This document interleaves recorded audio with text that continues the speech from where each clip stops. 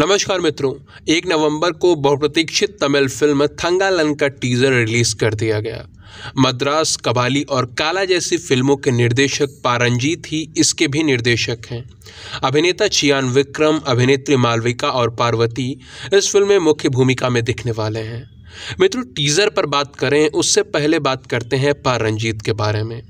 रंजीत एक प्रसिद्ध तमिल डायरेक्टर हैं, जिन्हें उनकी जातिगत भेदभाव के विरुद्ध लड़ाई करती हुई फ़िल्मों के बारे में जाना जाता है।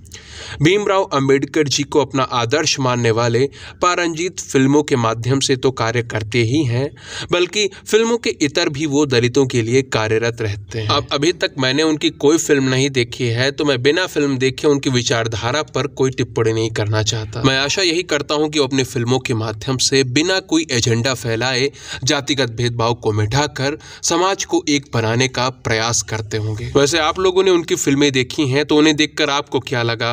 वो अपनी फ़िल्मों के माध्यम से क्या दर्शाना चाहते हैं? वो आप नीचे कमेंट सेक्शन में लिख कर अवश्य बताइएगा बाकी मैं पारंजीत की जो आने वाली फ़िल्म है थालंगन, इसे अवश्य देखूँगा। उसके बाद उनकी विचारधारा पर, उनके वास्तविक उद्देश्य पर हम सब चर्चा अवश्य करेंगे। पर अभी के लिए हम बात करते हैं थालंगन के टीज़र पर।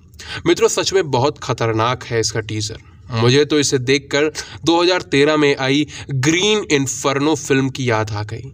भयानक रक्तपात जिसे देखकर कठोर से कठोर मन भी विचलित हो जाए। टीजर का वो सीन तो रोंगटे खड़े कर देता है, जिसमें एक व्यक्ति जीवित सांप के दो टुकड़े करके फेंक देता है। मित्रों, टीजर देखकर फ़िल्म की पूरी कहानी तो समझ नहीं आती है, लेकिन इतना पता चलता है कि ये किसी जनजातीय समाज पर आधारित है और भूमि पर अधिकार को लेकर एक युद्ध चल रहा है। फ़िल्म निर्माताओं ने संभवतः जनजातीय लोगों के अधिकारों को लेकर फ़िल्म का निर्माण किया। फ़िल्म की कहानी के विषय में थोड़ा खोजने पर यह पता चला है कि यह फ़िल्म ब्रिटिश काल के दौरान कोलार गोल्ड फ़ील्ड के आसपास के क्षेत्रों में घटित हुई सत्य घटनाओं पर आधारित है।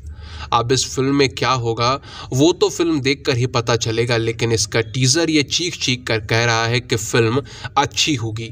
टीज़र ने फ़िल्म को देखने के लिए उत्सुकता को अत्यधिक बढ़ा दिया है। बिना एक भी डायलॉग बोले टीज़र ने हमें टीज कर दिया है। 26 जनवरी को यह फ़िल्म तमिल और हिंदी के साथ साथ अन्य क्षेत्रीय भाषाओं में भी रिलीज़ की जाएगी। आप लोग कितना उत्सुक हैं फ़िल्म देखने के लिए, इसके साथ ही आपको टीज़र कैसा लगा, वो आप नीचे कमेंट सेक्शन में लिख कर बता सकते हैं। वीडियो को अंत तक सुना आपने, इसलिए आपका बहुत बहुत धन्यवाद।